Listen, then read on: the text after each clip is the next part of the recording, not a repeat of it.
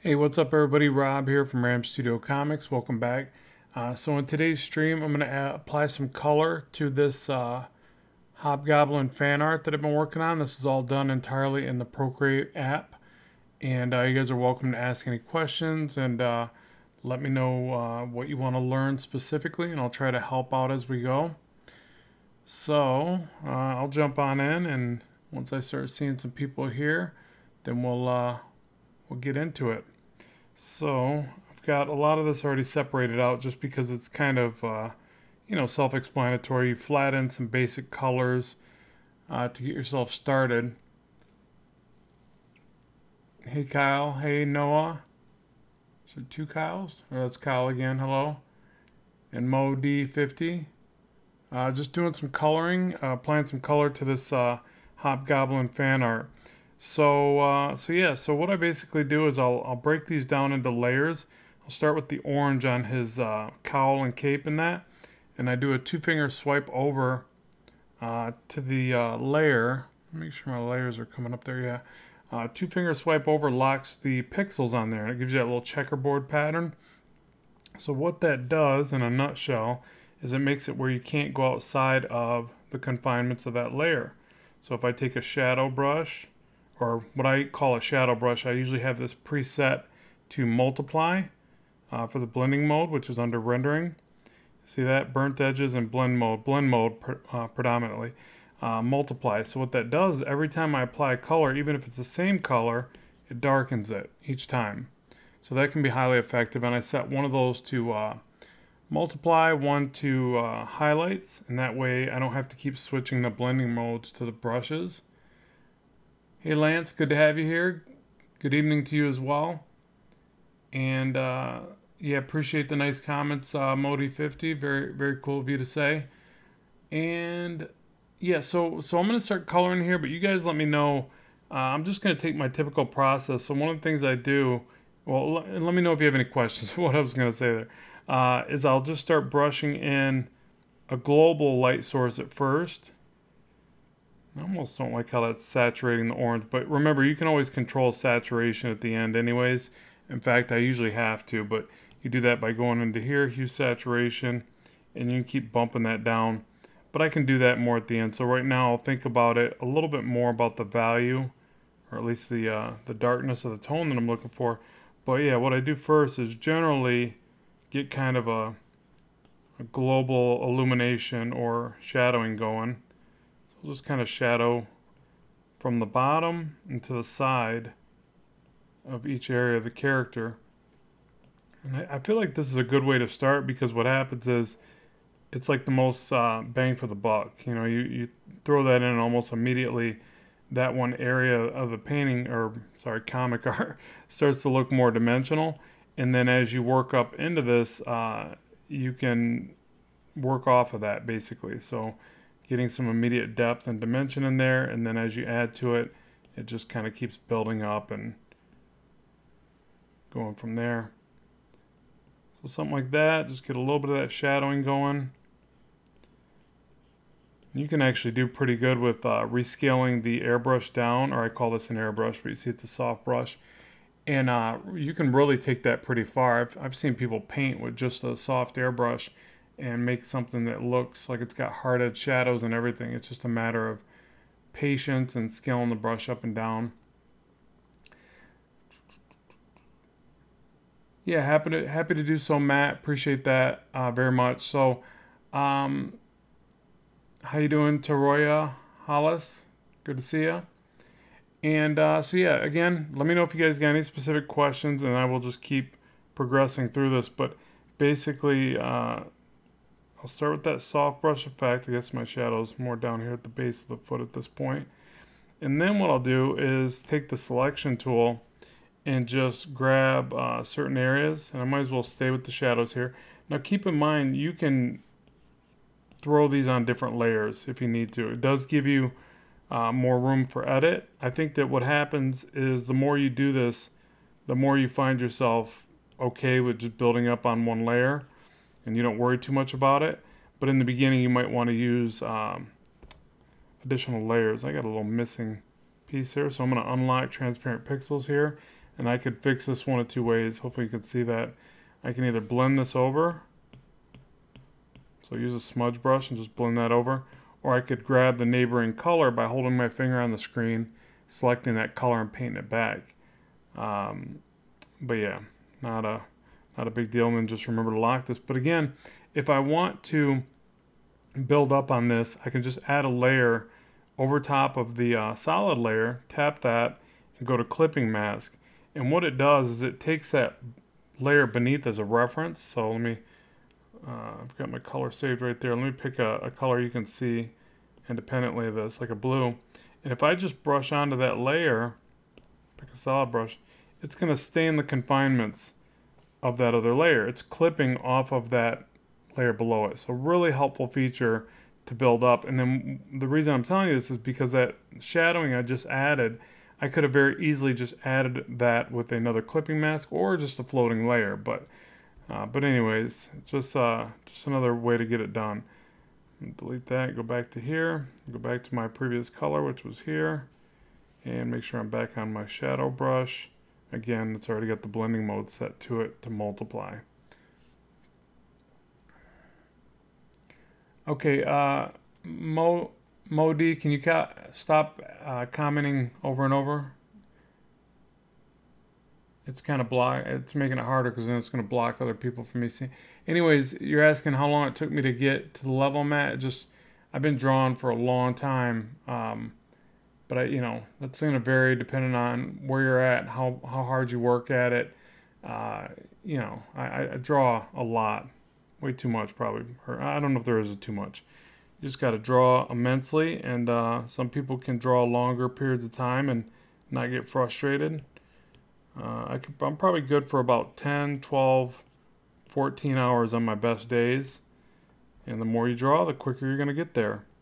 And the more you're uh, open-minded about uh, learning, you know, like a, like learning new things. Like um, I'm a big fan of what uh, Albert Einstein said. It was something like uh, the definition of insanity is doing the same thing over and over again and expecting a different result. And I feel like that's like very important to me to remember because uh, I will do the same thing over and over too many times, and then I something clicks, and I'm like, wait a second, I, I got to change this up. Uh, so I think that's a big part of getting better. You just have to constantly change things up and practice new techniques and study from different people that inspire you. And uh, if you got an open mind, if you keep an open mind, it'll happen. I don't want to say it'll happen sooner than you think because it's a very slow process, but you will leap and, and improve here and there. You just got to keep sticking with it. But yeah, it's not easy for everybody because a lot of people want to see so much immediate gratification and, and, get better like ASAP. You know, they think that they're always looking at the clock in that regard. I mean, you look at the clock to make sure you're being productive, but you shouldn't, you know, you shouldn't worry too much about uh, seeing constant improvement in your work. It happens just because you you continue to do it. It's like let's go for the um, the uh, the journey, not for the the sprint or something like that. All right, so you see I'm trying to bring out some of these uh, bigger pockets and folds. Uh, I do love the selection tool inside of this app because it is very easy to draw exactly what I'm trying to get, that exact shape. I find it a lot more difficult to get the shapes that I'm showing you right here inside of the other softwares. In fact, my second favorite program to color in is Clip Studio, but I can't stand the selection tool but I still color in it. Uh, just actually just put up another uh, Skillshare class where I was coloring in it, and uh, I, I, love the software. It's a fant- Clip Studio is a fantastic, very powerful software, both for the desktop and for the iPad. But the selection tool is a little less than desirable. Where this selection tool, I can stop, I can pick back up, I can go from click to click right back to drawing. I mean, you can really control your selection you can undo and redo parts of the selection. So yeah, and for comic style shading and cell shading, cell coloring, uh, it's it's fantastic. So yep, that's my opinion. I'm not paid to say that. Just giving you my my opinion. All right, let me try to read through some of these real quick. Rob is a wizard. Thanks, Johnny Cage. I wish. Wish I, I had powers. Okay, um... I never thought you used multiple layers for your flats. I thought you would use one flat layer and then have a backup layer. Yeah, there, you know, there's different ways to do it. I, I like to separate them as I color it in. Uh, call me crazy. There's probably better ways to accomplish it, but uh, it's just my process. Um, no, no portfolio reviews tonight. Um, I was trying to plan some stuff, but it fell through. So I'll, I'll try to set something else up real soon and uh, let you guys know.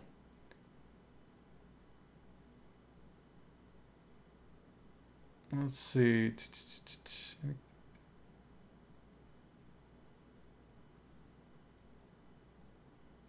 Yeah, so uh, selection is easy for me, but it's all based on style. Yeah, for sure. Some people, uh, the way the tools work might match their style, which obviously makes things uh, a lot nicer.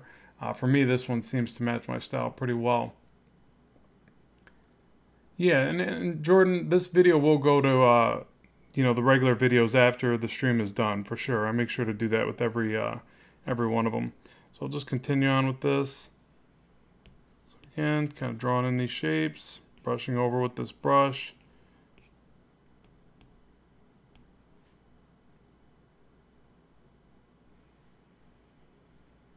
And you know, you can be a lot more uh, courageous with this. You can get in here and grab like shape after shape after shape and then brush a few in at a time. There's a couple areas in the work where you want to do that because it's almost like you want the effect to you know, you want to select the area, but then you want it to fade from, you know, one side to the other uniformly in a sense or globally. I don't know how to explain that other than sometimes it makes sense to grab multiple areas. And then also if you brush in an area like this and I got a little bit of a light gap I don't want right there, sometimes I'll just kind of smudge that shape into place. Even like this edge over here, sometimes I'll blend the, the very edges out a little bit more. And again, the smudge brush can be great for that. A lot of times I just kind of retrace the shadowed areas. So I try to be as descriptive with the um, line art as I can, and then it will save me having to think too much about it when I go to do this part. Again, I kind of want this to feel, bring that shadow into there a little more. Yeah, I feel like all this would be in shadow.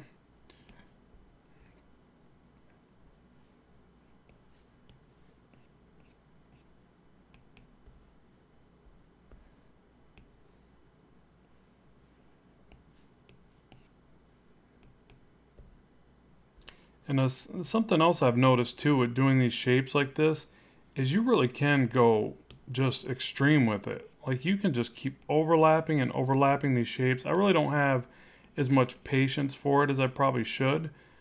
But I've noticed that if you just keep building up these shapes back and forth from shadows to highlights, you can really sculpt with these basic shapes and make some really neat effects. It's it's kind of cool. Like you think it would start contradicting the process and it would start to uh, you know be too much. You know you can overdo a lot of things in art. And for some reason it, you can take it really far. Um, I, I often will just you know call it done before I get to that level but I've noticed that the more you do it the better it starts to look. Uh, an artist that comes to mind that does that really well is uh, Patrick Brown. Fantastic uh, colorization process and he will overlay a lot of highlight and shadow shapes in the, you know, in that cell shading effect. And it, I don't know, it just looks sweet. You know, you can really take it pretty far. But like anything else, the more you do it, the more you learn the little tricks and the things that work in your, your work, you know, work with your style. And then you just keep milking that cow, I guess, you know, like going for what works and doing more and more of it.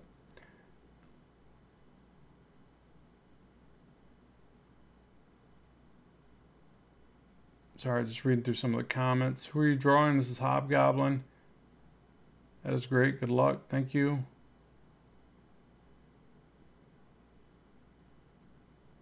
Yeah, and just so you guys know, you can get the line art from this um, over on my DeviantArt, and so you're welcome to color along or you know do your own thing to it. Uh, some people were talking in the chat here about painterly styles. Uh, you guys are welcome to grab the line art and play with it and paint all over it. I'd love to see it. Um, or just, you know, show me some of your work too. So, you know, we're not doing a that type of live stream today, but at the same time, you're always welcome to tag me in a post and let me see what you're working on and I'll try to give feedback when I can.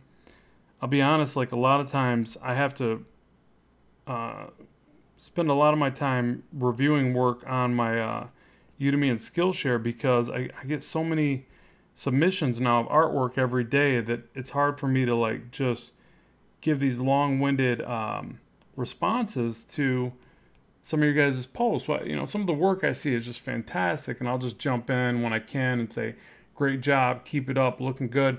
And I have to at this point because I'm getting a lot of tags and posts and responses and uh, submissions and, and, different, you know, so it's it's tough for me. So ho- hopefully, for any of you listening that might have seen or experienced that, um, just want to be forthcoming and say, you know, I wish I had more time in the day, but I will try when I can to, you know, give some more meaningful cre- uh, feedback. It's important that it's not just, you know, always um, nice. you know, like I mean, it's I want to be nice, of course. You know, everybody should try to be nice, but it's it's a matter of um, making sure that it's truly helpful, that it's it's uh, something that can benefit uh, you as an artist, not just hey man, looking great. But there are times if it just looks great and I can't add to it, I am just going to say it looks great. I'm not gonna I'm not gonna tear it down just for the sake of trying to give some uh, tough critique or something. You know, I'm gonna call it how I see it. But um, but yeah, there are those times I just look at it and I'm like, wow, I don't know what to offer. They're doing so much right. You know, sometimes it is a matter of like like I'll tell you this one, like when people submit multiple multiple sketches, right?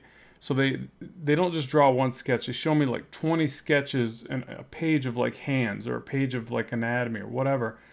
I almost can never be negative about that. Why? Because they it shows in the amount of sketches that now this isn't like a portfolio review s- submission. This is just the work they're doing. It's like I just always want to say positivity on that because that is the right thing to do. That you know, showing hard work, that you're putting in work like that, uh, you you are going to get better. So I, I can't really critique that a whole lot because like uh, a lot of times I'm impressed that they're putting in that level of work. I just had uh, a few that I saw today on on Udemy, and people were uh, you know really working hard and submitting a lot of samples of the different studies, and that's that's how I do it. Like I, I don't think I'd be nearly as far if I didn't just do a lot of studies, you know, a lot of practice, a lot of failures, unfortunately, but that's the way to get there is like, you know, you fail so many times, you're like, ah, okay, I know that's not working. Time to mix it up. Time to change it.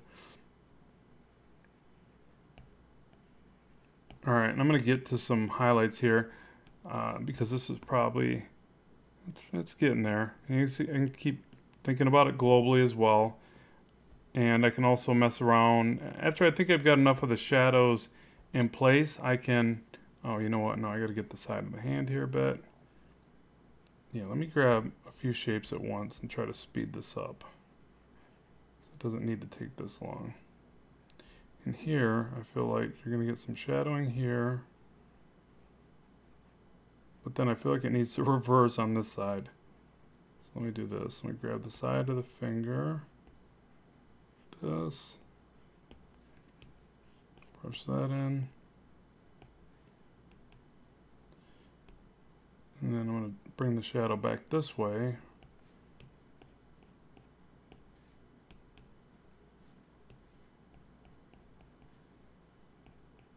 I'm just kind of smudging some of this around. I feel like the gaps there are a little off, distracting.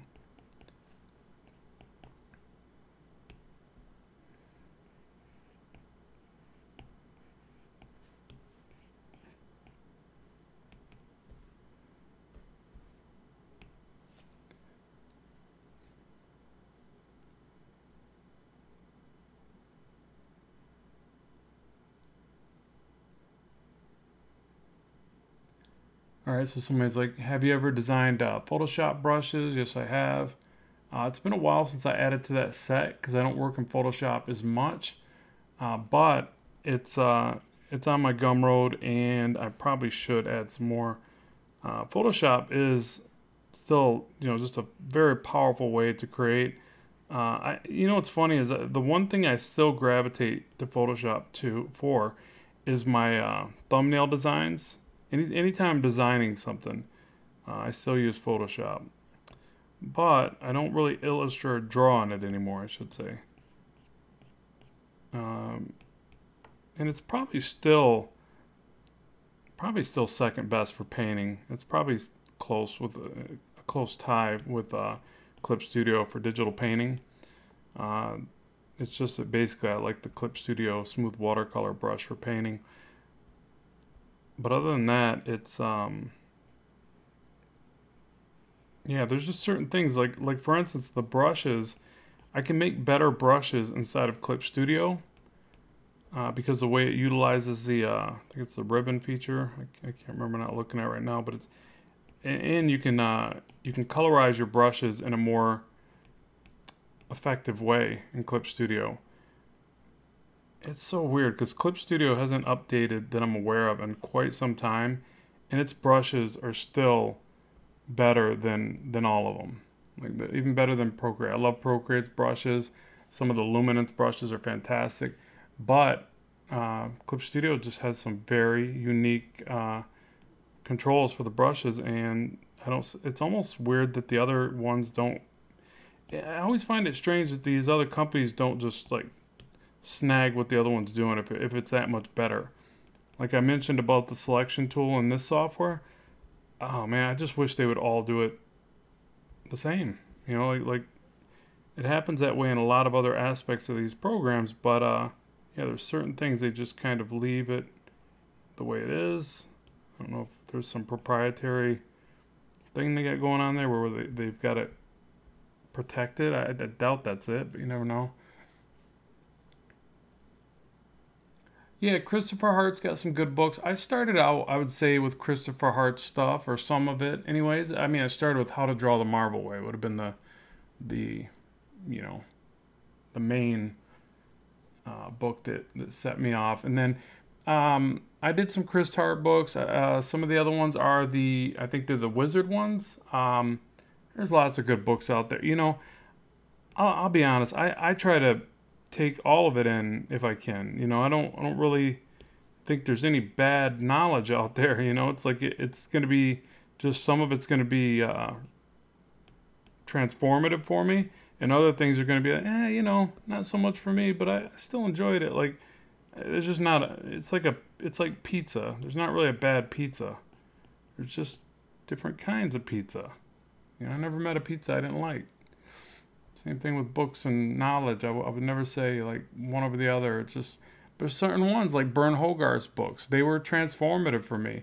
And then I've mentioned this recently. Is like then the books of um, uh, Bridgman. I, I wasn't that into his his way of explaining things. Uh, and then lately, I can't get enough of Bridgman. Bridgman has been a lot more um, easier for me to translate lately. Like it's like a translation. Like at first I didn't understand what he was trying to convey. It was the same information. I just wasn't ready to receive it, I guess. And then it didn't apply to my work. It didn't seem to work well when I went to uh, to do it. And then um, tried it again more recently, and yeah, I love that stuff now. In fact, I've been wanting to do some uh, videos where I I share some of the studies as I work through the book because another part of it is I, I really feel like you do have to translate him. You can't you can't draw the stuff exactly the way you see it. Uh, you only get so much out of it. It's more that you have to take it and implement your own style along with the way that he's trying to explain structure, and then it makes a lot more sense. So, yeah, I don't know. That's just uh, I think that all this stuff is great, but you have to be ready to receive it. You have to be ready to learn what it is you're after um, or what what's in front of you. Sometimes it's just not going to make sense until you're you're ready to really uh, go down that road, I guess. All right, so I'm gonna I'm gonna add a little bit more of the other effects here. I can always come back, like it'll save these colors right in here under the history, so I'm good there. Uh, obviously, you can just sample the color as well. It's not that big of a deal. But what I'm gonna do here is I am gonna put the the layer over top. I'm gonna tap this, that's a clipping mask, and then I'm gonna set the blending mode to one of the the brighter blending modes. I think it's where to go. Color dodge. No, you know what? I'm gonna leave it to normal, and then I'll just use it with the uh, the brush itself. But you can you can do it with the blending mode as well. Where's normal? Why don't they put normal to the top? Isn't that where you put normal? Okay, so now I could take this with the highlight brush and select this color here. I think I want to go with a little bit more yellow in there yellowish gold like this. Yeah, I think that'll work. We'll try it out. So what happens is now that since that clipping mask is on there, it won't go outside of the uh, confinements of that layer. Uh, even if I painting way off the layer. I don't know, it's just kind of a neat way to do this. But uh, so what I'll do is first get in some of the rim lighting that I kind of perceive over here. So I can draw that selection right outside of there. Something like that. Is that too yellow? It is, isn't it?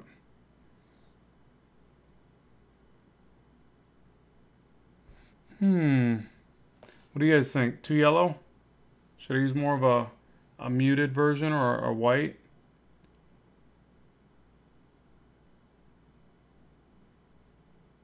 make the tongue dirtier, make the thighs slimmer. Uh, yeah, I'm not editing the work at this point, but, but thanks for the feedback. I'm not editing the line work, I should say. Pineapple pizza, crime against God. Come on. It's not that bad. It's not that good. It depends on the place.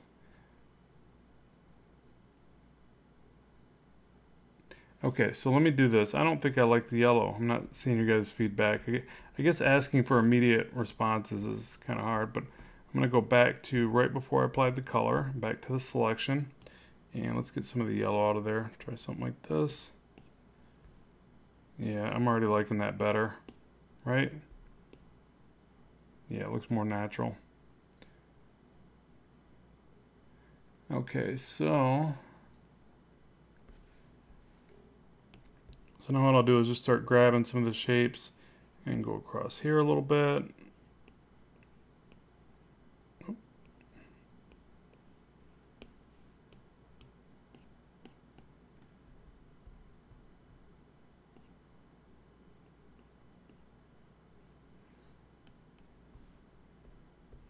Like that.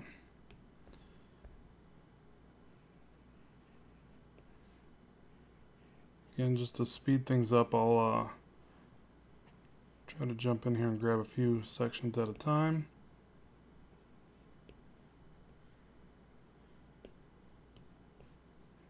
Make the brush roll large, just kind of glance through this area.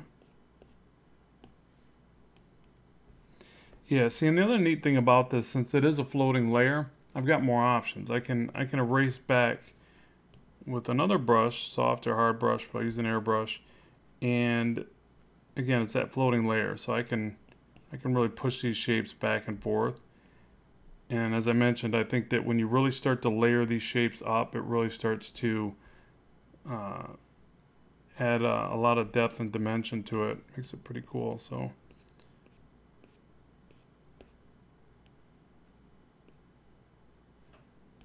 So same thing, I could get in here and blend the edge as well. Now it's usually generally a little bit more of a painterly effect, but I'll just soften up like one side of this line or half of that line.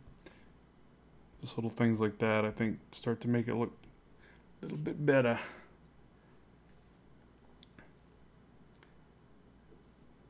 And clipping mask CP, CSP is way simpler.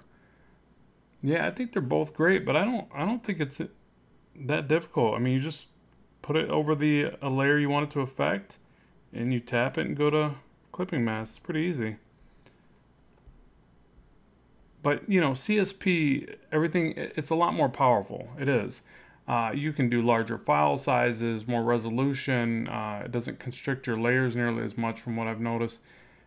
Clip Studio Paint is a bigger brother version. It's like Photoshop, but not as like not as many people know about it. Um, there's no doubt in my mind that it's it's a more powerful software. Uh, what always brings me back to uh, the Procreate app is the fact that it's it functions in a lot of ways in a more simplistic, uh, you know, some more simplistic uh, interface for one, which I like because I want to be focused on the creation, not where all my buttons are and and you know where did I put this tool because it's got so many tools. Like I feel like Clip Studio is great when you're doing like a larger um, like book. You know, if you're going to work on your book, then Clip Studio is the way to go. I don't even think Procreate's really that effective. I will still find myself heading over to this software to um, to draw though, and sometimes even ink. And then uh, yeah, when I compile everything into a page, and I want to obviously do anything like word balloons or anything like that, or anything really in depth, it's yeah, that's when I go to Clip Studio because I got a lot more layers and groups to work with. Uh, it is a more powerful software for sure. But as they say, different strokes for different folks, right?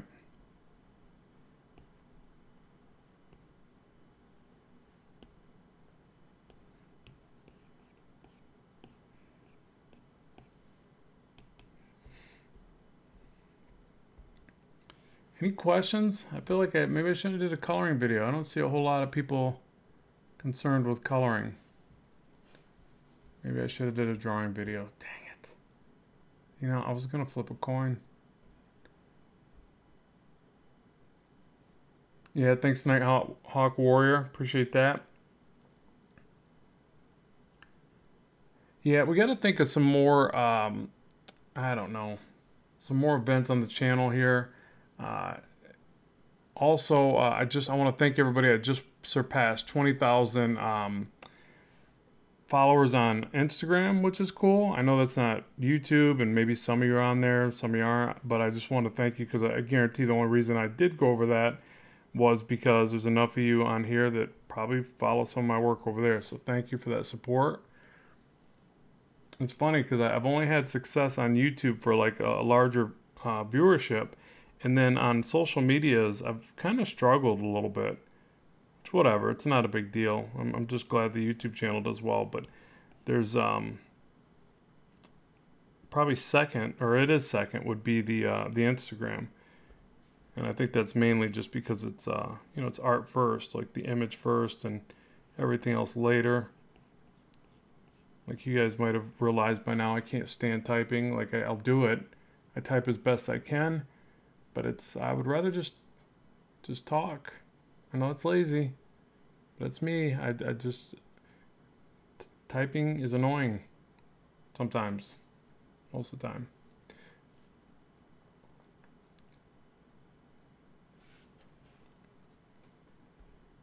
All right, so now let's see. I'm trying to think of some. Uh, probably put a tiny little highlight across the seam.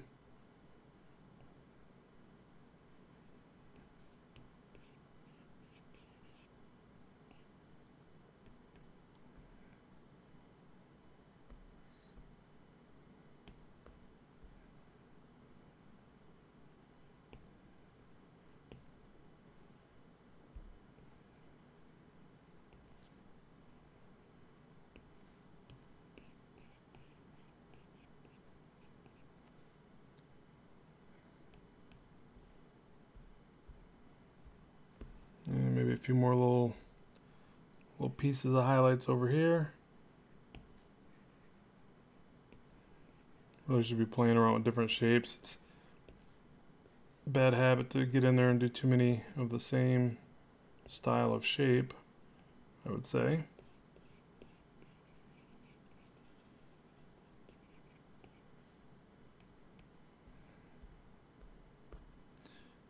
And I feel like that area is just a little too strong, so I'll just soft erase it just a smidge.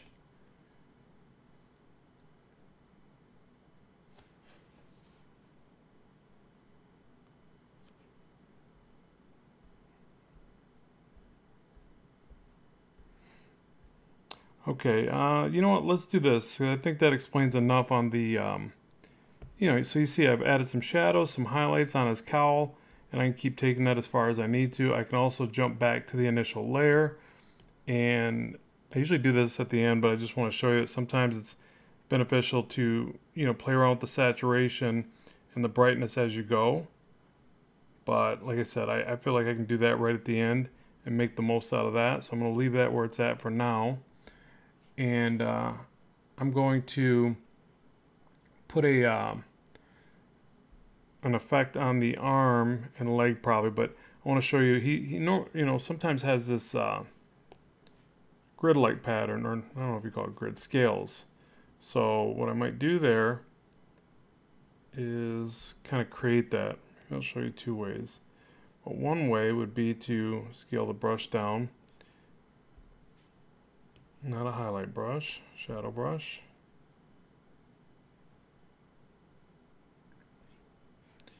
And draw these in first like this.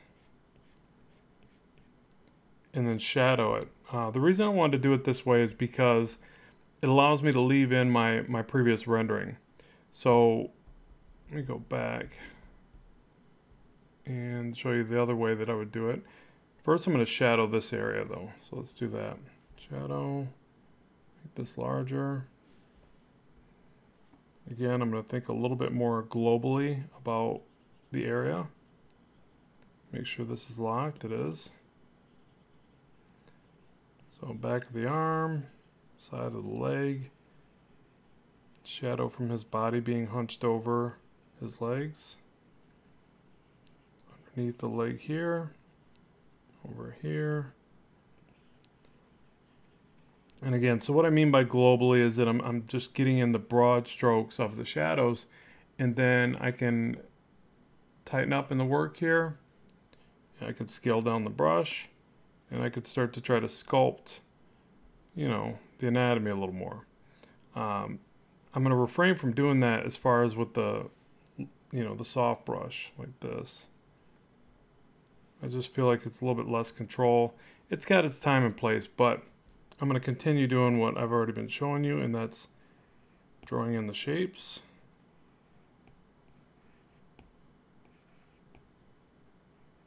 Like this.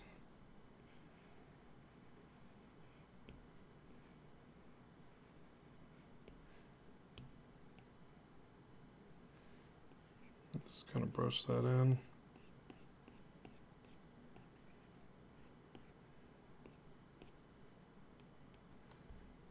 a little more.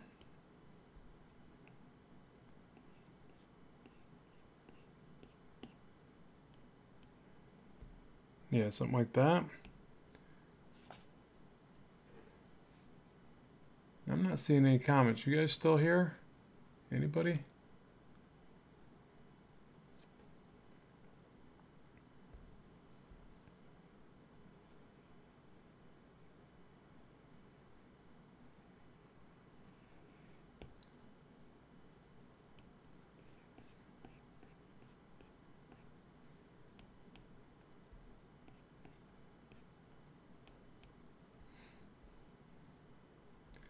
Okay, something like that. And then let's work on the leg a little bit.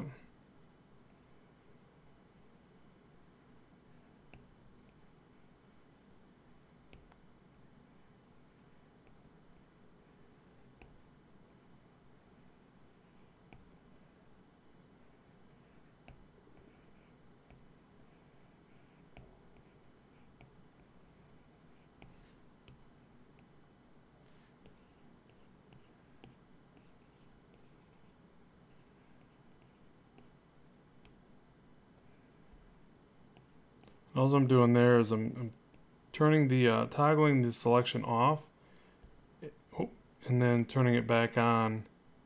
I almost feel like that's a little too much. Let's try that.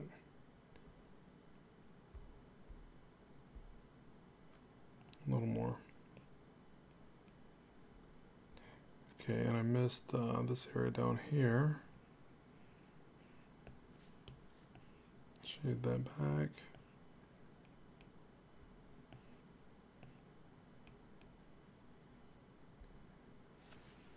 Okay. All right, for some reason I am not seeing any new comments and I would assume somebody's saying something, right? So do we lose our comments? No. Last one I'm seeing is from Nighthawk Warrior and that's been sitting there for for a minute.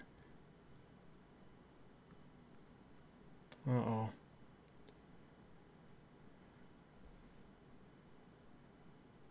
Darn you, YouTube.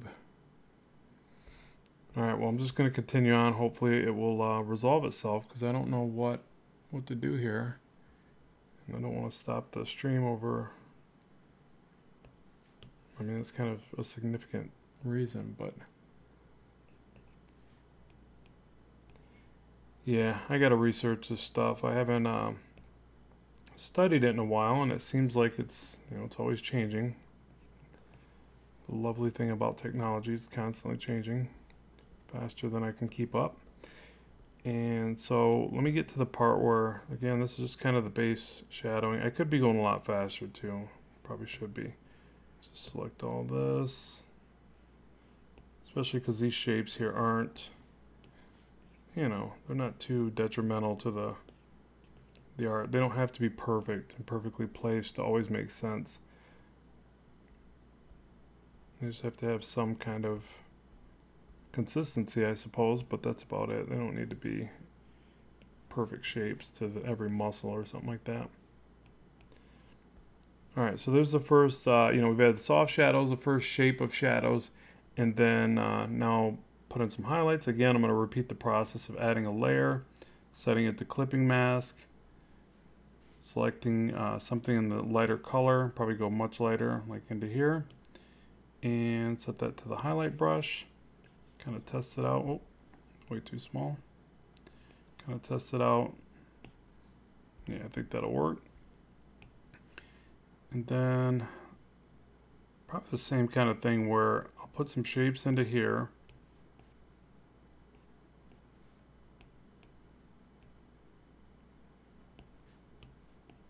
Like that. And then I might add in a few areas, just a little bit of that uh, rim lighting or edge lighting.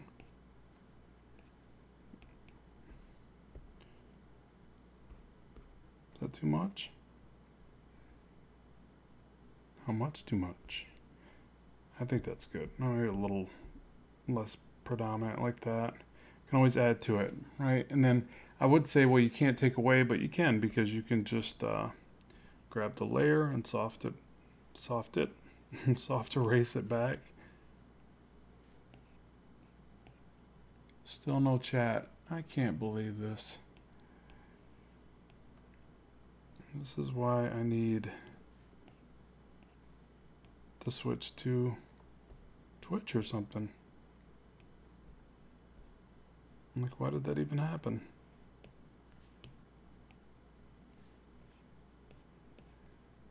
I guess you're not safe no matter where you go. Some there's always going to be some kind of issue.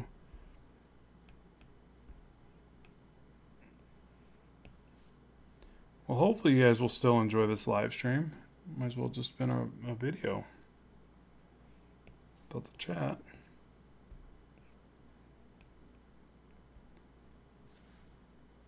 Ah, man, I want to try To, You know what? I'm going to try to refresh this uh, studio. Hopefully this doesn't kick us out. If this does kick us out, forgive me, um, but I feel kind of silly having a live stream where I can't see your guys' chat. So I'm going to refresh this. Hold on. And hopefully this is not the end. If it is, hopefully you've enjoyed this video. Uh, yeah, hold on.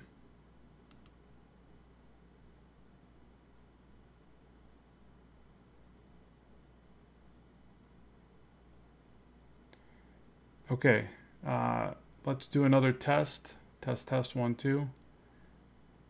Oh, I see some new ones. All right, cool. I should have did that a while ago. Sorry, you guys.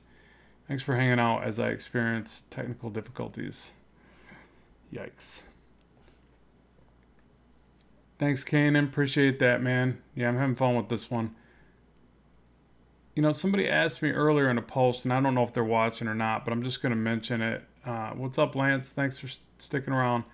Uh, they asked, like, they, they said something like, your past two um, uh, couple illustrations have looked a little bit better. Have you felt yourself like leveling up, right? And I'm like, how do I answer that? Because we all have these like moments where we feel like we're doing our better work, and then we have those moments where we feel like we're not drawing as well. Uh, the main thing is that you just persist through any of those highs and lows, obviously. But uh, I, I, I did actually kind of feel like I was doing something different. Not that I was really leveling up. I don't think it's I don't know. I don't think it's that easy of an answer, but um, but what it is is that basically I've been rough sketching the concept more, and then uh, not settling on bad ideas in the rough sketch for one, and then going right to ink from the rough sketch. And I think that forces you to hold on to a little bit more of that energy from the artwork and not tense up too much. I feel like I tense up too soon on the artwork if I re-render my pencils. So it was funny they pointed out this one and the, the Violator one because those were two where I specifically did that. Uh, let me see, I can go to gallery here and show you a little bit of what I mean. So this is one I just did and it was the same thing where I started inking it from a pretty loose sketch. In fact, I shared the different versions of the rough sketch of the inks. And again, it forces you to think a little bit more on your feet. And then I think that you lose uh, you, you, don't tense up too much. Where, let me pick a different one here, like uh, like this one. I rendered this a little bit more of Chaplain Spawn, and you can tell it's more stiff. It has more of a, almost like it looks like vector art. Almost it's too stiff and static. So at any rate, just keep that in mind. That's that's kind of what I felt I was seeing uh, go on in my own work there. Of you know drawing something more like this, and then almost just going to inks with it. This is supposed to. I was thinking of that. Uh, I don't know if you guys ever watched that movie. Um, um, goodness, what's that movie? They're they're like in a game. It's 3D, really good. Uh, Gantz Gantz O. But anyways, the, one of the villains from Gantz O. It was like kind of part of the movie I was remembering or trying to remember. Yeah, see, Kanan says the same thing. Goes from yeah, and I've seen you do it, man. I've seen it you do it where you you have a really light idea and then bam, you just ink it and it looks sweet. So great job on that. And, and I, I do. I feel like that is something that in in digital kind of makes a lot more sense anyways because oh, this was one I was gonna mention. Like, yeah, I did this one of Batman, and I think it came out okay, but what you know, it's a lot more tense looking and feeling. So this was the initial. This was a traditional art one and it's all right. You know, it's a, I, I think it's one of my better Batman shots. I mean, it's plain, obviously, but um, but yeah, it's there was a lot more time and deliberation that went into this, and I think it shows in the end result. Where when you do something like this, it's much faster. Um, I'm not the fastest artist. I, you guys probably know that from watching the channel. I uh, I penciled and inked this one in just under eight hours which is actually kind of quick for me, and that's probably not quick enough, right? I mean, if, if I'm going to do a book and a monthly title or ever, you know, again, I gotta I gotta get faster. So yeah, jumping from pencils to ink sooner helps with that process, and it helps you retain some of that energy. So again, I just want to make sure to answer that because uh, it was a question earlier in one of the posts I saw. So yeah, and uh, so let me do this. I'm going to show you how I would put that pattern in on his suit because I think that might be more interesting for people to see.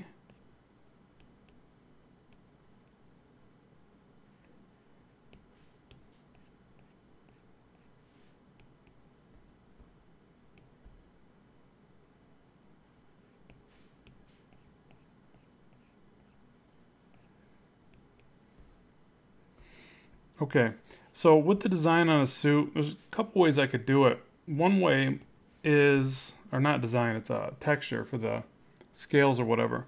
Uh, I could draw these right in.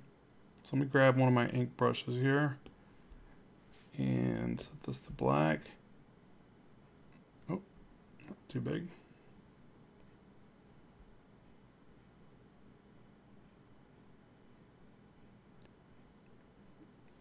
Actually, I'm going to grab the other one. It's easier to control the edge of it.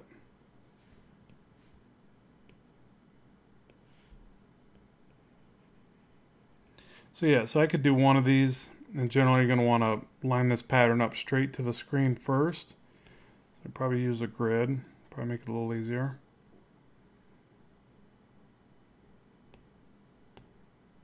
Here's my grid. Oh, drawing guide. And take off the perspective. There's the perspective grid I use for the buildings, by the way.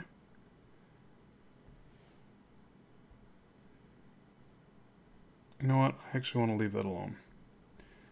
I'll just eyeball it. So copy and paste.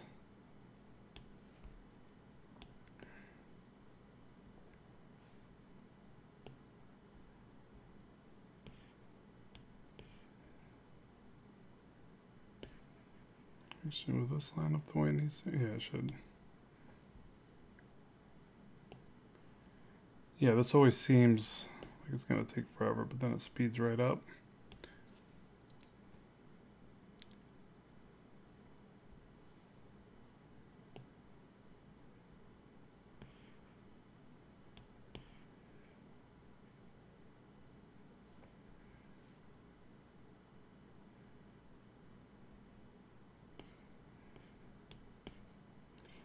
Funny, I, I, used to have to do this all the time for uh, vehicle wraps.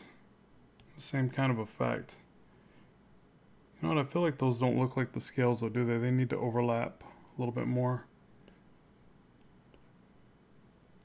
Yeah, they need to go more like this, don't they? Uh, I'm just going to show you it this way and then I'll probably redo it. I really just want to show you the technique. So you'd get the pattern working the way that you want, obviously. And then save it. Save whatever patterns you do.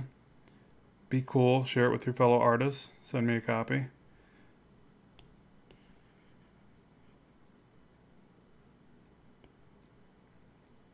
It's like why do we why do we not all just have like one big Google Drive that we store bits and pieces of our art so that we can all share it? That's a good idea. Why why, why aren't we doing that? Anyone? But yeah, so you get this the way you want size wise, as many as you need. Like I said, I think I might redo it. I don't think it looks bad. it looks better from a distance, doesn't it? Yeah. But anyways, it saves a bunch of time once you got it all going and you, you just distort it. So you keep duplicating it. You get as many as you need in the place that you need. And then you just warp this. Uh, was it liquify? I'll take this, scale up a soft brush, and I'll just maneuver it to where it looks like it's curving around, you know, the deltoid and And a lot of times what I'll do is I'll cut this out in between. Let me just show you. I'll try to get it to look like it's bending around the deltoid. So you usually have to push the sides in a little more and then pull the middle out and stretch it back here. Something like that. And then I'll cut other parts of it, usually. Cut and paste and then just rotate it or distort it. It looks better than if you just leave it all flat against uh, the anatomy. You know, you want to you want to give it that effect that it's wrapping around the muscles. And, and you know, I'll just say that's done right there, right? So then after you got it in place,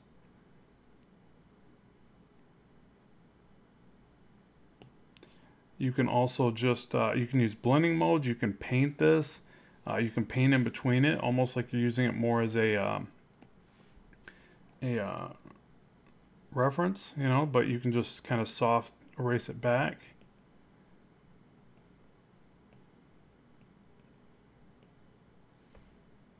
You know, whatever ends up looking more natural. And then what I'll usually do is I'll do something like that, and I might come back and grab one of the highlight colors like this. And then I'll just bring out some of these little scales.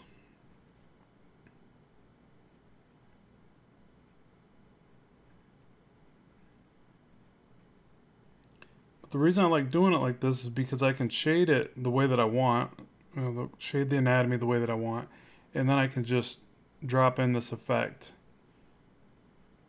pretty quickly afterwards because I would end up coloring the line work anyways. I don't think I would want this part of his suit design to be so opaque, you know. So that's, anyways, that's my process for a pattern like that. Uh, and you can do the same effect with everything. You can do, uh, you really should. Like, like I'll take and put like little imperfections in the buildings back here. They'll be very faint because it's way back in the distance. You're not really going to see like cracks and imperfections as well as you might up close. But you can do that all over and you can add texture after texture. Like I might add some blotchy imperfections in his cowl and his, his uh, cape so it doesn't look so clean. You know, he looks like he hasn't bathed in a while. So you, you know, you probably want to reflect that in his clothing as well.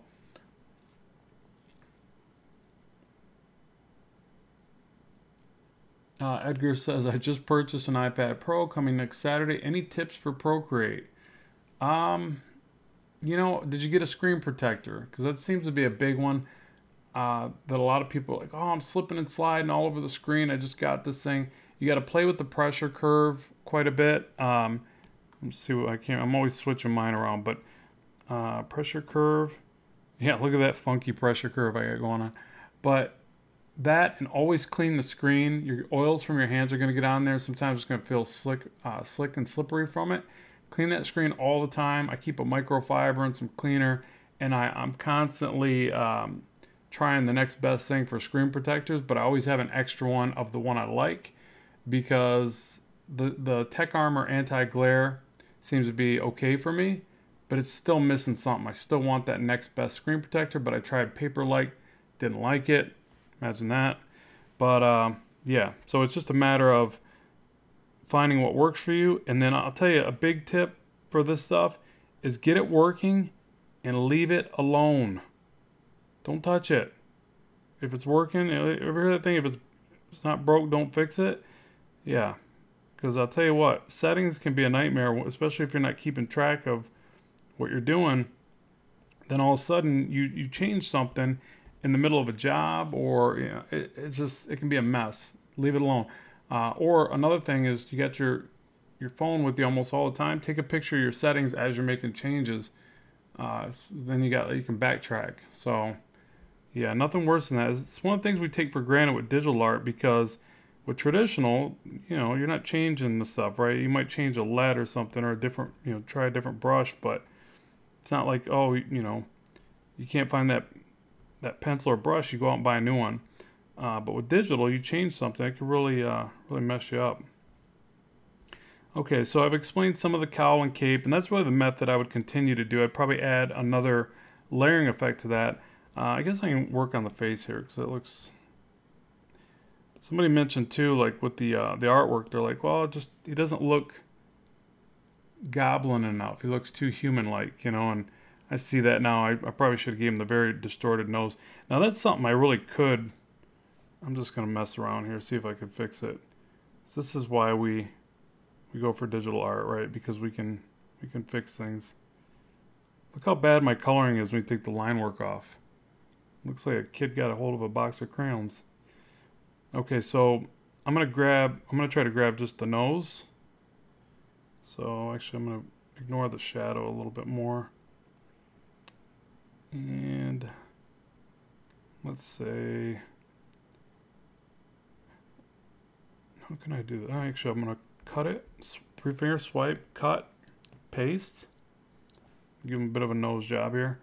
And then uh, liquify. Nope, brush is way too large.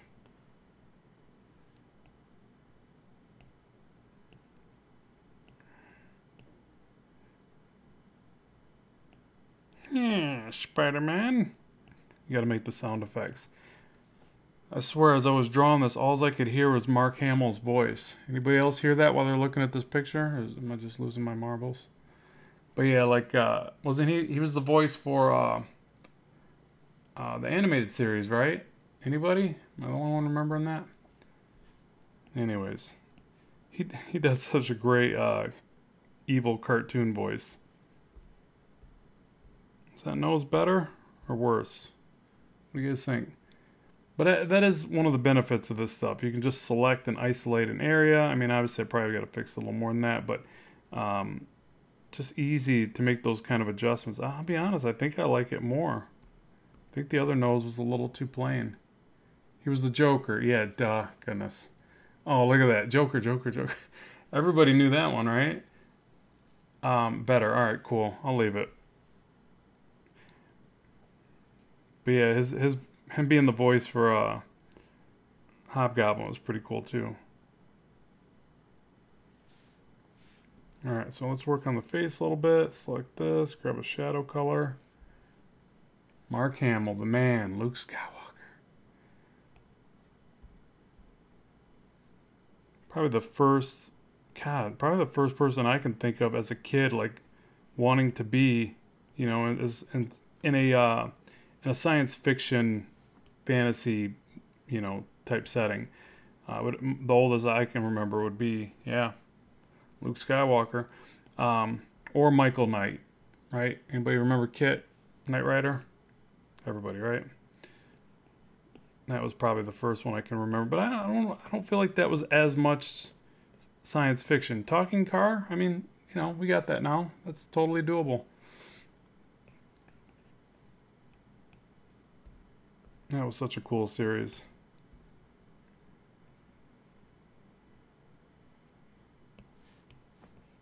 All right, so get the cheekbone. Oh, you know what? I skipped a step, didn't I? So the first thing I would generally do is shade the side and bottom of the face, kind of shade up like this. Yeah, that's better.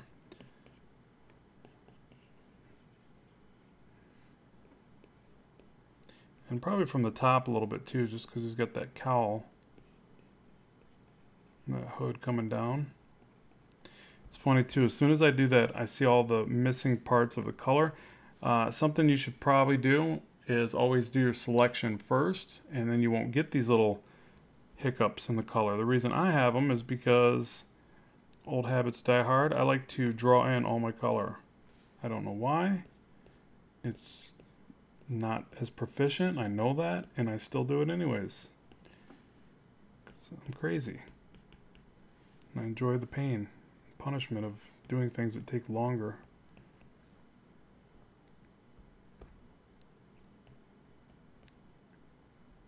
It's because I'm an artist, so I like to draw.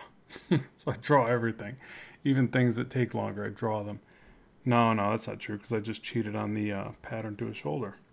Okay, so swipe that back over, two finger swipe to lock the pixels, and back to doing this. So I'll grab the side of the nose here.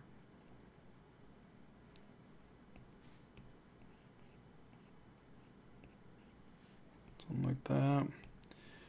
Uh, and you you know you can keep going over certain areas, right? You don't have to get it all in one hit. You can layer up these shapes. Like I mentioned earlier, sometimes it looks better because of that. And then like side of the nose here, I'd probably even grab like this. I'd leave a little bit of light on the nostril. Let's try that.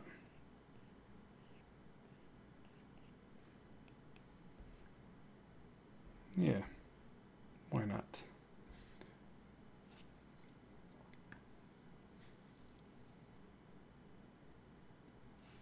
We don't have a flying car yet. Uh, actually, we do. They just did. Uh, you didn't see. Like I think Japan was testing it out. Google it. Uh, there's a, there's one where they took a car and it's just a big version of the drones that everybody can buy, right? You can go to Amazon right now, buy yourself a drone, right? It's just a big version of that, and it the the flight test was awesome. Uh, in fact, I'll tell you what. As soon as I saw that, I thought, that's it. Those are the flying cars we need. Those drones are so well designed in a sense for the way that they distribute the weight and everything. I promise you this: it's probably going to all be cars that resemble drones now the bad thing is they didn't have the covers around the uh, propellers, impellers, I don't like what you call them. So I could see a lot of decapitations going on, so that's not good. They got to fix that. But all they do is they put that shroud around it, and you got a bunch of hovering cars. So yeah, flying cars are right around the corner, I believe. We should have had them years ago, hoverboards, all that good stuff, but it's coming, folks. It's coming.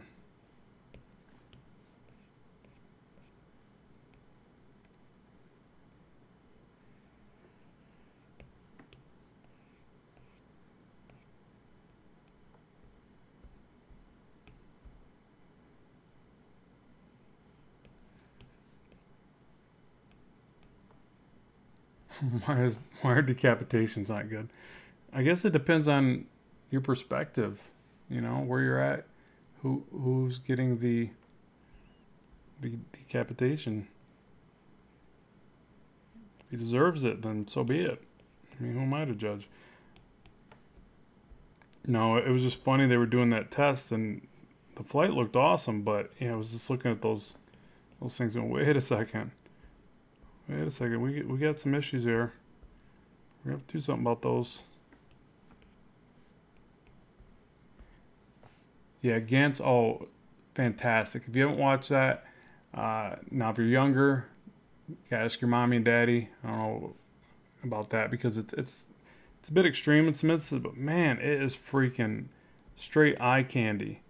Um, in fact, I'm pretty sure I watched that and like immediately was like, you know, you watch something that just gets you really pumped for drawing, like watching the Avengers movies when they came out. I just I just had to draw, like almost had a hard time watching them without drawing because there's that much. Um, I don't know creativity and, and eye candy throughout that that it just gets you pumped, right? Like especially it's a comic book movie, but but O is the same kind of thing. It's so intense looking and so breathtaking to behold. Uh, yeah, I wish they'd do more movies to that level. Like I thought, um, oh, what was that one? Was, up until then, it was probably one of the better 3D movies. I thought. Um, and you guys share in the comments too. Like, what what is your favorite? You know, realistic 3D, or I, I don't know if you call that realistic, but just you know, awesome 3D movie. Um, up until then, I thought um, Beowulf was pretty good. You know, it, it still is pretty good. I watched it not too long ago. It's okay. You know, it's as far as um, I just like the story uh, and everything. But at the time, it was groundbreaking, right? It was like it was like just amazing that they had pulled that off. Uh, but since then, they've done you know a bunch that are that are pretty freaking awesome. And, and Gantz O, I would say is to me now is the number one spot. But you guys probably know of some better ones.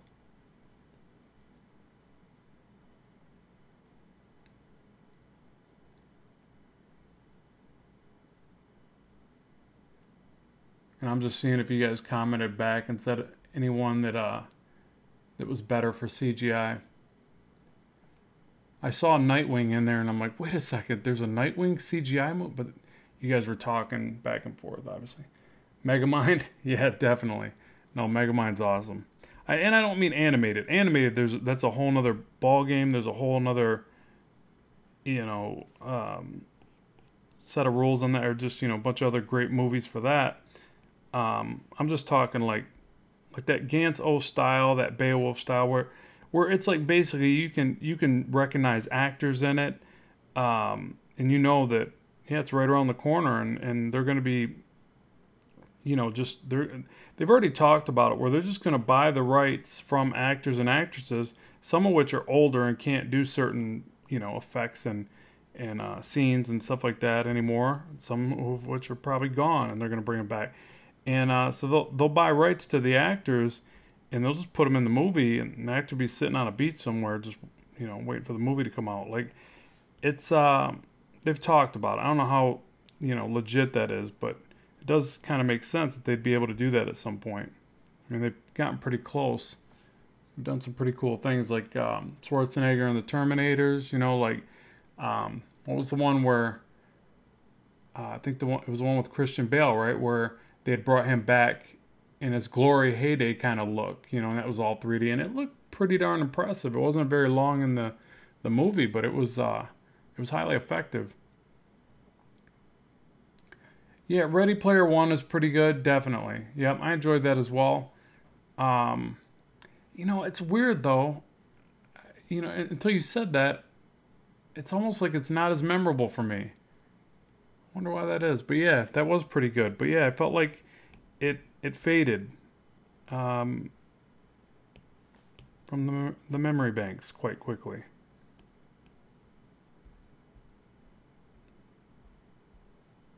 I'll need to watch it again and see if it uh, holds up to the test of time. Not like it's not hasn't been that long, but uh, I can generally gauge a movie a lot better the second time. You know, like Avatar, obviously was was groundbreaking and amazing, and uh, I, I'll still watch Avatar. But the bad thing is, is kind of let down by the fact they were like, oh, there'll be a part two, and all this stuff will happen on one of the moons of Avatar or something, and then all of a sudden nothing happened. It's just like, yeah, so much for that concept. Or supposedly they're still making it, but there's been so much time in between now. I don't even know that it'll do that well.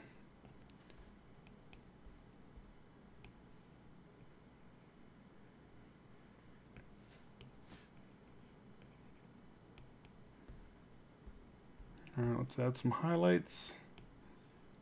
I should shade some of the side of the mouth here. Try that.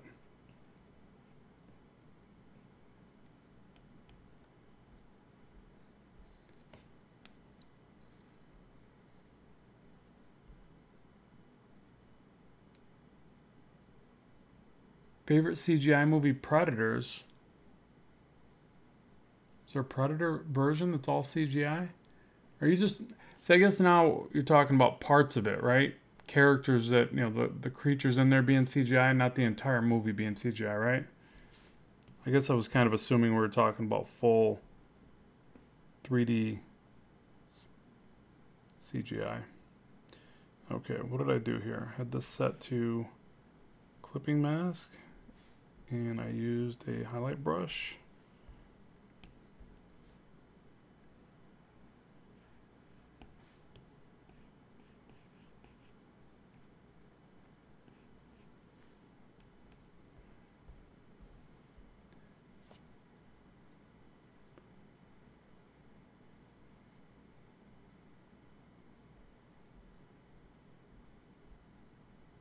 Oh, okay. So Jordan says they are still working on the Avatar movies. All right. We'll see. John Wayne Coors Light beer commercial. They're going to bring John Wayne back? Or they did. Is that what you're saying? There's already a Coors Light beer commercial? More of a Bud Light fan. That's probably why I didn't see it. Oh, uh, Nicholas, thanks for saying that. You finished a course on Skillshare. Appreciate it.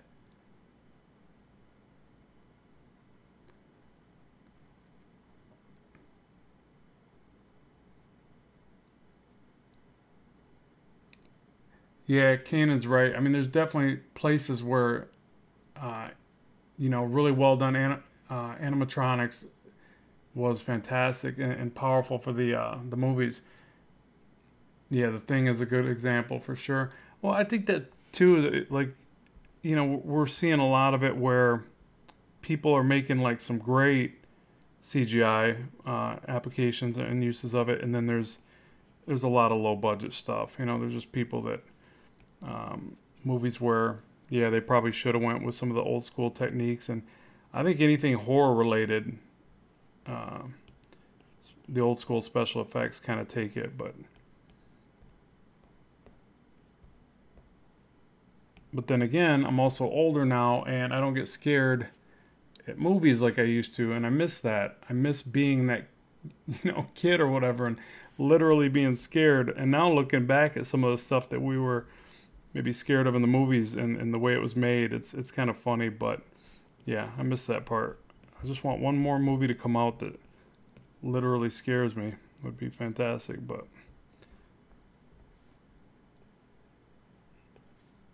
it could happen. I was kind of hoping that um, uh, the one with the clown, it, yeah, those were good. They weren't they weren't as good as I hoped. They were kind of a little animated, a little yeah. And I'm scared of clowns. You know, there I said it. Okay, not as tough as I thought. I'm scared of clowns, but uh, yeah, there was a few parts that were definitely kind of creepy, and then there, then it was just kind of like eh, yeah, he's not that frightening. I could take him.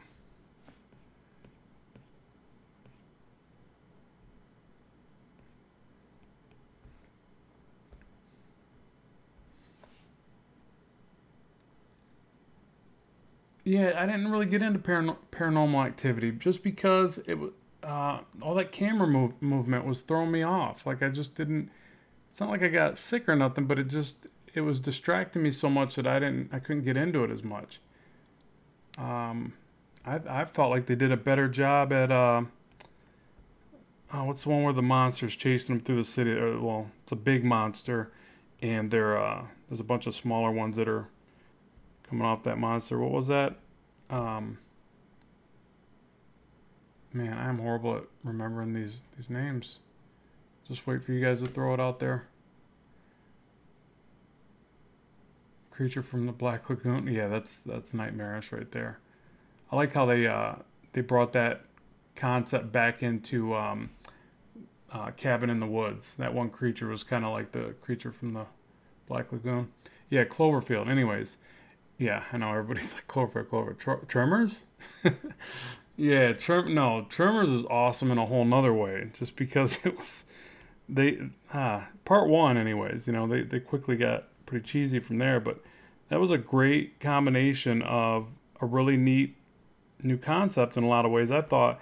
And just, you know, that one had pretty decent acting. Kevin Bacon was hilarious in it. And yeah, anyways, that, that was, that's one of the, my all time favorites but not because it was really scary. I mean, I guess in a way, like something coming up out of the ground, grabbing your your toes. That's kind of freaky. But, um, or no, ch- like Children Under the Stairs. Like the title just scared me. You know, I don't even know how much the movie actually scared me, but the concept that there was children under the stairs. Because I, I never really liked stairs and like with the openings of basement stairs, you know, I always felt like there was something and they're gonna grab my ankles. And so after seeing the title of that movie, yeah, that kind of hit hit the nail on the head. And I run upstairs, even now, to this day, scared of stairs.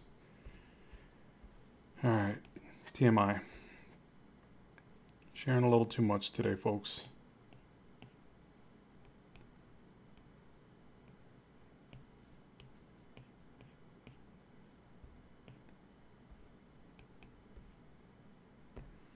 I don't know if I like the way that face is shaded. Bring out the eyes.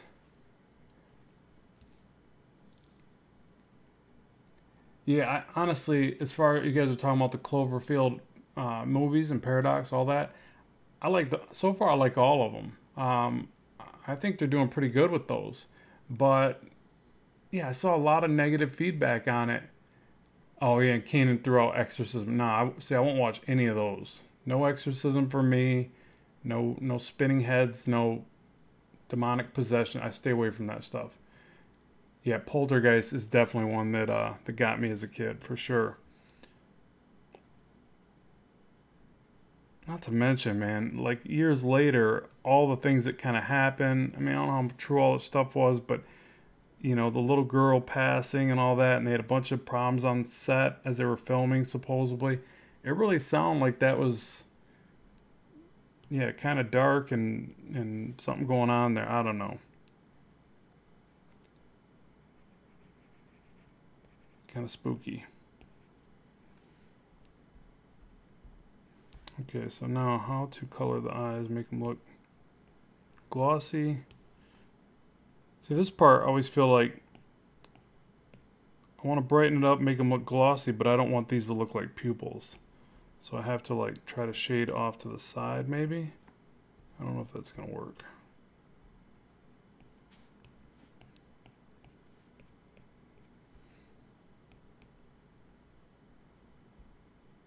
Does that look alright? I think no matter what, it's kind of going to look like pupils. I don't want it to.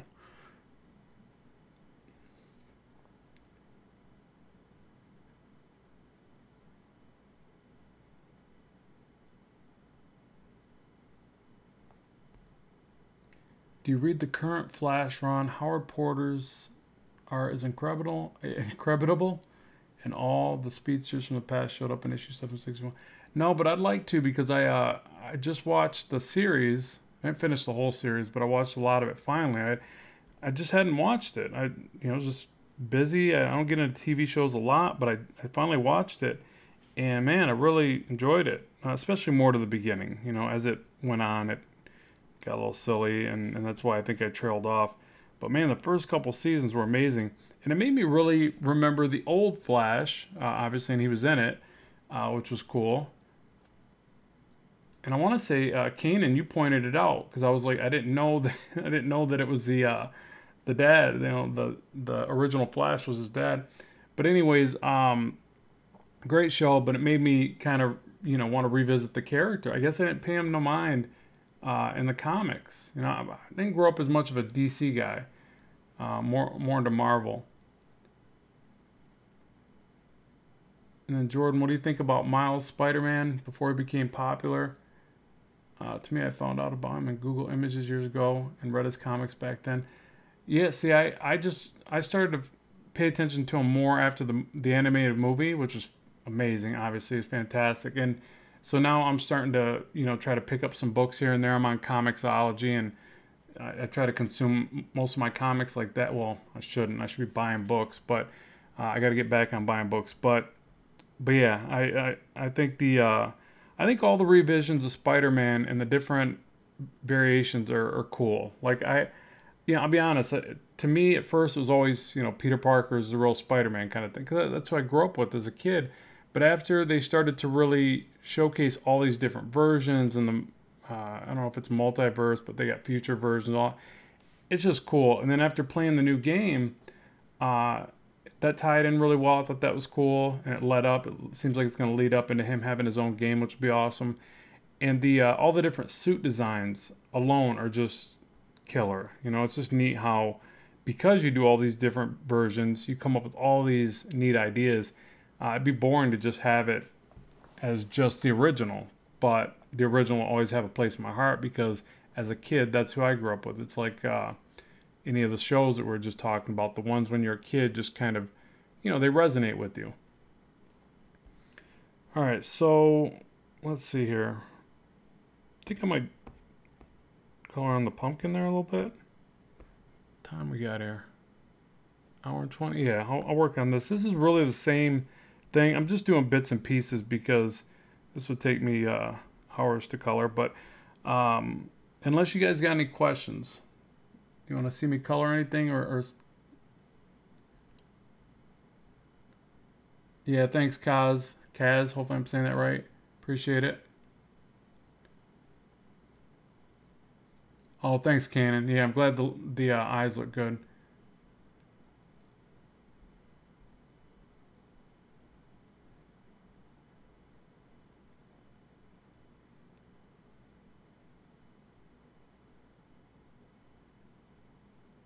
Yes, and you guys are saying some of the different names. Like I haven't read any of the Superior Spider-Man. I just recently found out that's supposed to be Doc Ock, right? You know, and then like uh, then you just mentioned one of you guys mentioned the uh, Scarlet Spider.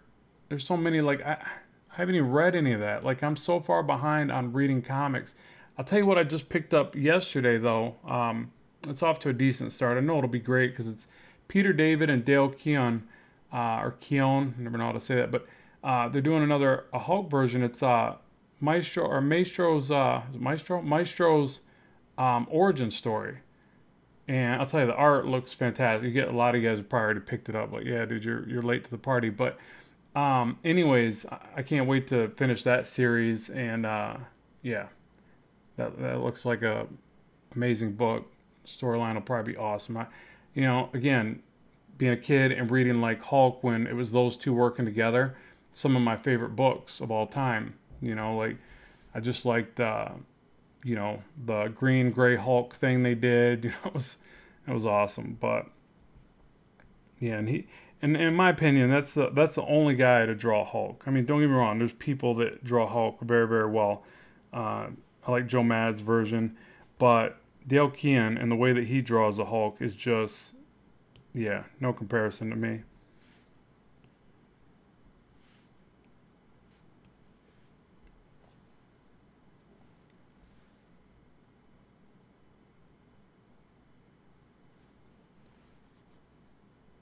Yeah, that's what it sounded like. Like they had never done an origin story on him. Like he just kind of came out of nowhere. They talked about it, but they didn't. They didn't do the story. So now that's come. That's out, or book one's out. And uh, yeah, it's off to a good start. I mean, I won't say it was a fantastic book one, but it, it's pretty cool. Art's beautiful.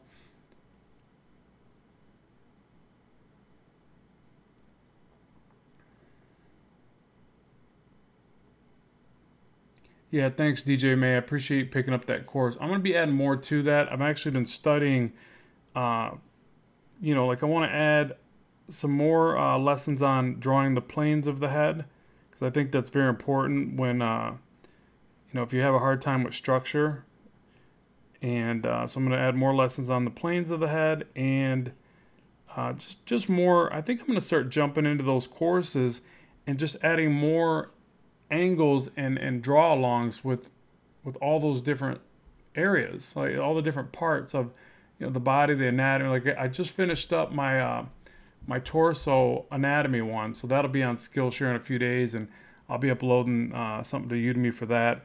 So I go through, uh, you know, all the body and you know and draw the muscles, and really in a stylized way. I just call it, you know, kind of like Burne Hogarth stuff not comparing my stuff to his by any means, but what I'm saying is like I go for more of a dynamic approach, not hey, I'm going to show you anatomy exactly the way it is because I don't think I'm qualified for that. But I talk about the terminology and I break it down in a way that I use it to draw like this. You know, it's not correct anatomy. I mean, there's some, I, I know some of the anatomy, or else I couldn't draw it even to this level. But, uh, you know, there's people that know it much better than myself, right? You know, I'm not trying to uh, say it's it's the end all for an anatomy course, but hopefully it will still help people to, you know, bridge the gap a little bit more and, and level up their game on that. Um, but I always tell people that's one of those things where I don't think you ever stop studying anatomy. You know, like you just always continue to have to revisit And And in my thought process, from me doing it for years, I'll forget stuff. You know, I got to go back and restudy it and revisit it and constantly learning.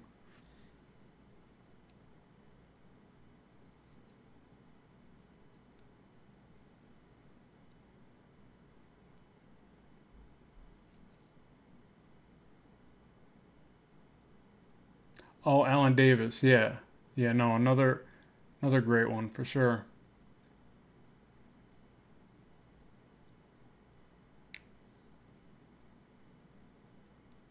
Wow, you're only uh, Taroya Taroya. I don't know if I'm saying that right. Taroya. My only interest from Marvel was X Men. That's it. Huh? Out of all, all the titles, all the books, that's all you got into was X Men. That's crazy. Yeah, when I for me it was like all Marvel and some DC. Like who doesn't love Batman? The villains from Batman are just some of the best villains, and you know. But it was for, as far as like reading the entirety of the universe. I'm a lot more into it now, but when I was younger, it just something about it didn't appeal to me as much. So strange. It's probably just like, you know, you get used to a certain thing. So I picked up my first really, uh, my first real character that I that I uh, just in, you know, uh, read all the stuff and picked up every book I could was Silver Surfer and I don't know why, because looking back, it's such, such a weird character to kind of pick up first. But and then I went from Silver Surfer to Spider Man. And it was all about Spider Man, especially Todd McFarlane was drawing all that good stuff. And then it was like just all that '90s art. I was just grabbing whatever was pretty to look at. You know, I think I think it was you know more. I know it was more about the art than the uh, the stories at that point, but the art was just so dang beautiful that that's all I did is just whatever book was uh, the next coolest thing. I feel like I need to shadow this a little more.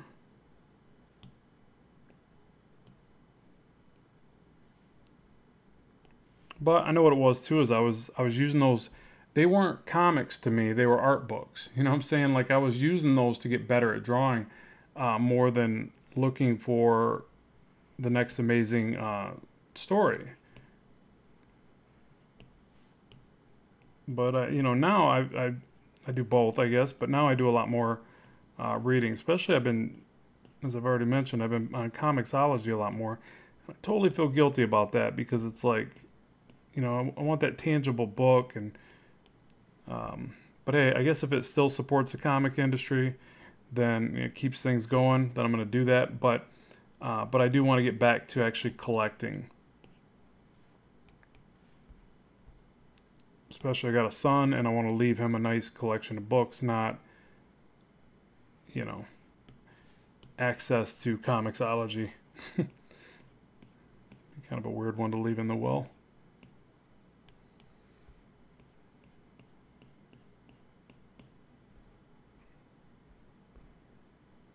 Yeah, and I just realized I don't know how to shade a pumpkin. So that's great.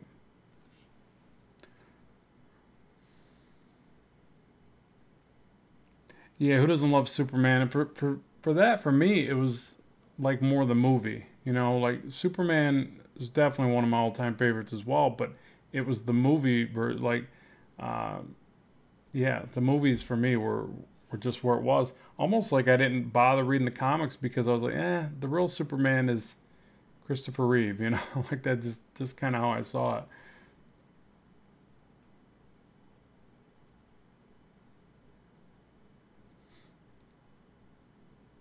Yeah, Ghost Rider's pretty sweet too.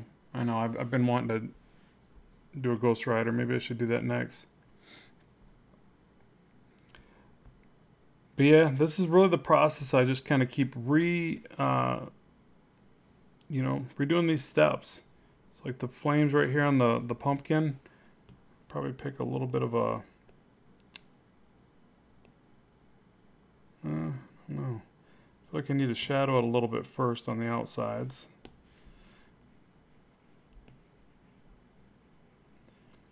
Oh, you know what I can do here is I can use the, uh, the luminous brushes which are just awesome in this software. App, sorry, app, not software. Same thing, right? So yeah, get the shadow going like this, and, and I guess you could really brush this in a little bit more heavily. Uh, try to get these rounded forms in here a little bit.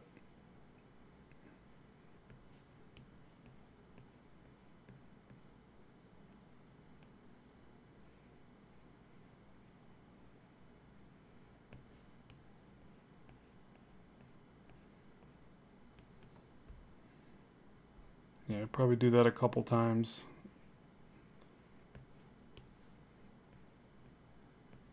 Something like that. But yeah, but then find the, or the luminance, light pen. Then go with something a little brighter. Bzz. That's a little much, but you could probably put this in and then blend it Hold on, let me see here. I guess I could try to push back the opacity.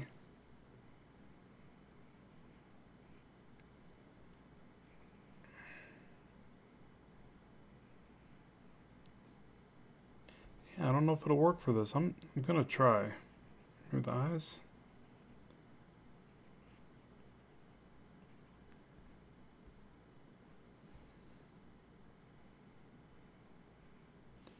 Try to put it in there and then smudge it. A little smudgy.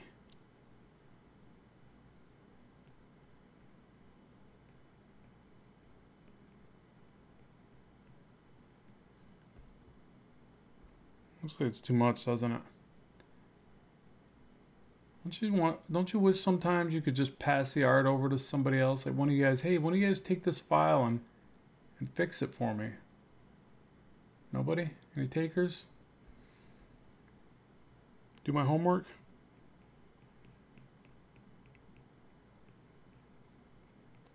Mow my lawn? What? No, I didn't say that. Just kidding about the lawn part. Not the homework, though. Yeah, I don't know. That's... Maybe there's too much orange, right? Or should this be colored like smoke? I'm to have to pull some reference.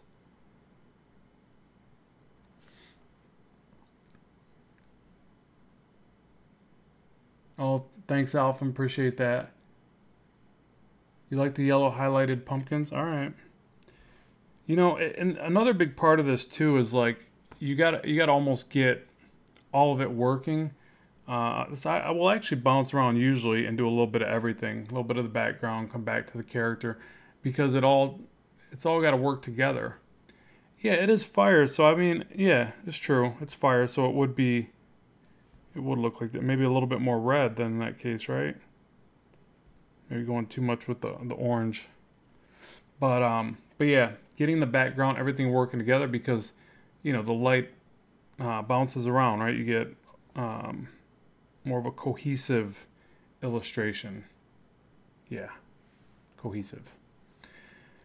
All right. It's been an hour 35. I think I'm going to jump out of here, people, and I'm really running out of stuff to show you.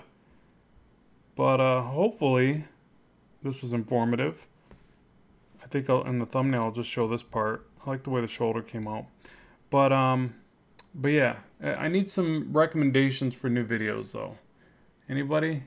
Maybe some ideas here? Oh, and as I say that, Josh says, do another traditional inking tutorial. Okay, yeah, I've been meaning to do that. Like, and, and like I mentioned earlier in the, the stream, um, you know, just just practice inking from a rough sketch. Uh, Kanan mentioned he does it, does some amazing work.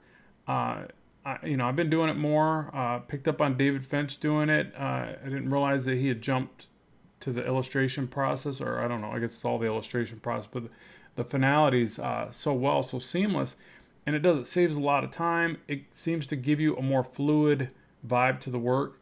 Uh, so maybe I'll talk about that when I do the traditional uh, inking video and um, you know kind of pick that apart a little bit. But it, it, takes some practice, you know. So what I generally do is I'll sketch on the back of my uh, my art boards, and I'll do a real loose sketch, and I'll just start inking it. And um, you start to realize what lines you do need to put down. Basically, structure. You know, you put that structure down, and then you let your imagination kick in. Go, well, I know how I shade eye. I do it a lot of the same I, I, do a lot of the same steps, you know, so I just retrace those steps and uh, yeah, you get better and better at it, but I think it shows in the end result of the work, so that's always good. More flare-ups on the pumpkins, okay.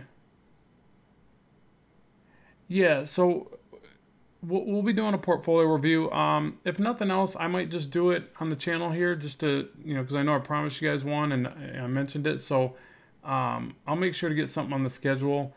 Um, real soon. So sorry about that. I just I got a lot going on over here. A couple, you know, a few irons in the fire. I was trying to get some of that anatomy course done, uh, and you know, you know me. I like sitting here doodling fan art, so I got to make time for that.